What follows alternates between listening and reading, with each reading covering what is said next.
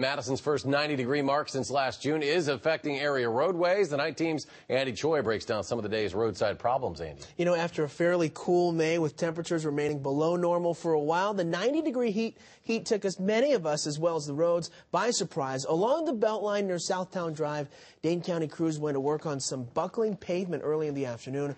Traffic was down to one lane going westbound, but crews were able to patch things up with the Beltline open to three lanes by rush hour. In addition to the Beltline along Southtown Drive, the heat slowed traffic in the Middleton area with buckling on Highway 12 near Greenway Crossing and on I-39 near Portage where the interstate splits north to Stevens Point, buckling in the late afternoon, prompting crews to shut down some lanes until the early evening hours. Now, buckling occurs when weak spots in the highway expand from the heat, usually happening during the hottest time of the day. Thankfully, these buckled areas were fixed before the rush hour traffic of Monday's commute. Yeah, I don't think the roads were quite ready for this no. heat just yet. Andy Choi reporting. Andy, thanks.